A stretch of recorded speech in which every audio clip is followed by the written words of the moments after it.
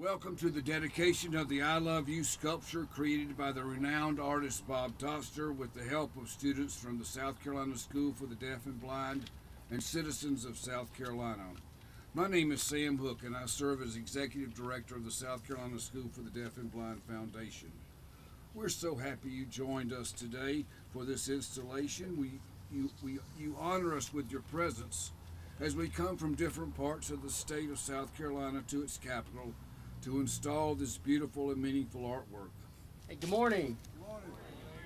Um, also, I need to thank a couple of people. Um, first, definitely uh, Mayor Benjamin and the City of Columbia for working with us on this project, um, for saying yes to it.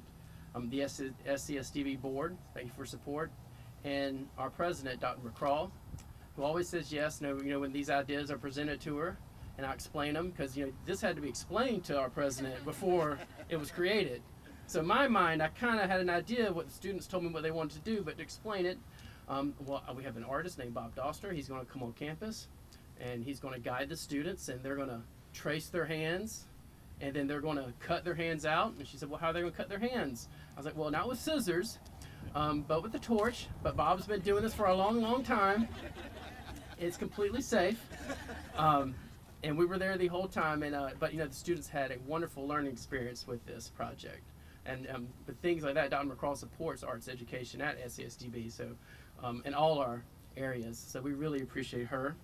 Um, also, the people who actually helped make this happen was the foundation, SCSDB Foundation, along with the South Carolina Arts Commission and an Arts and Basic Curriculum Project. They are the ones who actually funded this project to bring Bob with us. And that's actually how I got relationship with Bob is through the Arts and Basic Curriculum Project. Now the design, this happened several years ago, probably about two, two years ago, maybe three years ago, when we met with some students, we kind of explained what we wanted to do, an art project with a metal artist, and so we come up with a couple of different designs. Um, this was what we finalized with, because we wanted something that would bring community members in and unite with our students, staff, and just something that we could all do together. And then also that represents SCSDB. I think they did a wonderful job coming up with the final project. So we really uh, appreciate that.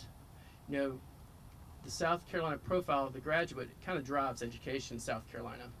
And a couple of words you'll see on this profile are innovation, creativity, collaboration, and that's what students have to have to work in this time that we're in.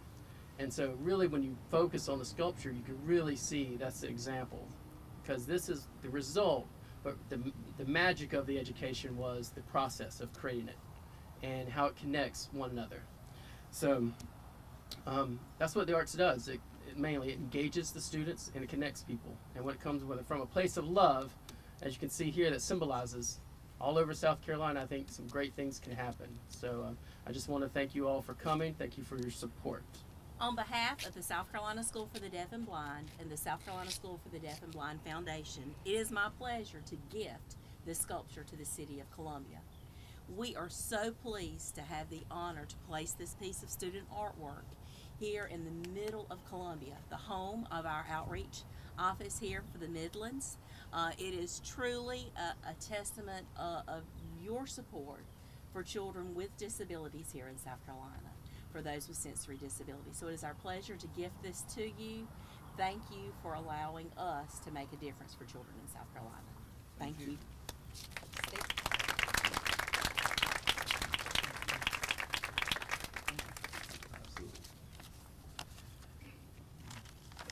Good morning, everyone, and thank you so much for being here uh, this morning. Uh, for some of you who are in the, in the upstate, uh, the weather is like this in Columbia every day. It, it, we just call ourselves famously hot. Uh, it's it's uh, it's always beautiful. I will say um, uh, this is a very special day. I, am thinking, trying to think about when the, I first heard about uh, this incredible uh, sculpture. It may have been my friend Hope Blackley, maybe calling um, to tell me that the idea had been floated about um, having one here in, in Columbia, and uh, we need to call together a, a, a meeting. Well, I will tell you, once I've finally had a chance to visualize how incredibly special uh, this piece of art is, uh, Mr. Doster. Uh, I've been looking forward to this day, um, very much so looking forward to this day. Uh, many of you know the history of, of, this, this, this great city. uh, formed at the, uh, the formation of the, the Congaree River by the Broad and Saluda Rivers here. Um, when they were discussing what the name of this city would be, uh, the, the landed gentry in Charleston and the, and the growing businessmen in the upstate uh, all uh, had their ideas. Someone actually suggested we call it refuge because it was in the middle of nowhere in 1786. Uh, it was then that Senator John Lewis Gervais of, of, of Abbeville uh, said that he hoped that the oppressed of all lands might find refuge under the wings of Columbia. He hoped that the oppressed of all lands might find refuge under the wings of, of, of Columbia. Indeed, at the birth of this great nation, uh, even with the challenges we faced as a, as a country then, we were thinking about the spirit of inclusion, the spirit of, of, of the fact that in this city, everyone would be able to live up to their God-given potential. We recognize that, that ability, that genius, knows no zip code or, or, or, or disability, the only opportunity does. And, and, uh, and, and the opportunities afforded uh, by the South Carolina School for the Deaf and Blind and the foundation that supports your work and all you wonderful individuals. It's, it's an honor uh, for us to have this sculpture in the middle of our, our Vista area, um, close enough that our incredible state legislators can, can, can see it uh, from the state capitol as they come down here and, and, and, and it speaks as, it stands as a testament uh, to exactly not only who we are, but who we aspire to, to be in this great city and this great state, indeed at the heart of the uh, greatest democratic nation in the history of the, of the world. Uh, uh, I do want to say, Dr. McCraw, thank you uh, for your leadership uh, and, um, and all the work that you do as, as, as president. I do also want to thank Lee Snellgrove and the folks at, at One Columbia for, he's been leading our public art initiatives over the last several years and doing a fantastic job here in the Midlands. I have to thank our, our, our city staff. you know, we politicians get we get ideas, uh, but we don't have to actually execute on any of them. Uh, so I see Kelvin. I'm not sure. I see Lucinda. I, I don't see uh, Krista, but but some of the folks that we reached out to. So we, we got to make this happen, and they made sure that we were actually doing all the blocking and tackling to actually make it uh, happen to deliver on this. So I really want to thank our staff who make um, uh, make the city special. And again, um, um, Mr. Doster. Thank you for, for, for your gift and sharing your gifts. Um, uh, my, I have one child who's a, who's a budding artist, uh, so I, I am in love with art and envious of artists as well. And to, um, to not think it robbery to share your gifts with the rest of the world. Uh, uh thank you, thank you, thank you so much. Well, hello, good morning. I grew up in Charleston, but Columbia will always be, for me, a memory of where I found my identity. My parents came to Columbia for a workshop entitled How to Raise Deaf Children. They came for that workshop and learned some basic signs. They came to me in the room with the other children and they told me that I was deaf. They signed deaf and they signed that they were hearing. They signed that my brother was also deaf.